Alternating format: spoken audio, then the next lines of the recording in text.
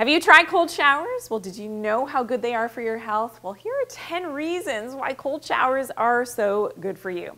Okay, number one is they can help to decrease your cardiovascular health markers. So things like cholesterol levels, homocysteine levels, which is related to inflammation, help to be lowered by doing your cold showers.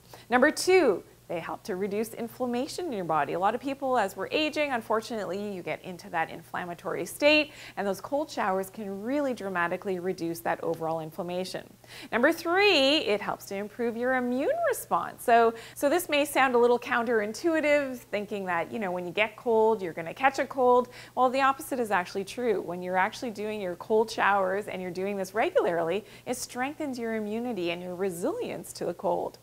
Number four, it helps to reduce oxidative stress, which is important. So making sure that our body is always primed to fight off that oxidative stress from our environment, even from things as good as exercise, does cause oxidative stress. So those cold showers, especially after exercise, might be something that you want to start to add to your daily routine.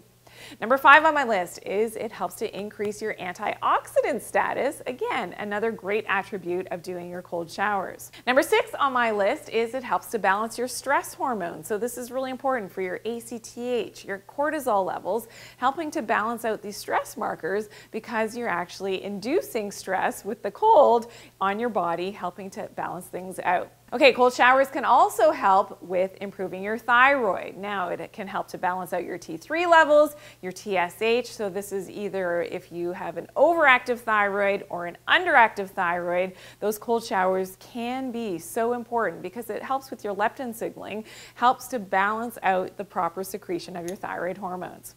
Okay, number eight on my list is the cold showers help to increase your zinc levels. And number nine on my list helps to increase your norepinephrine. So this can really be helpful in terms of weight loss. So if you're looking to lose some extra body fat, this is a great way now to stimulate that norepinephrine and stimulate some of that fat loss.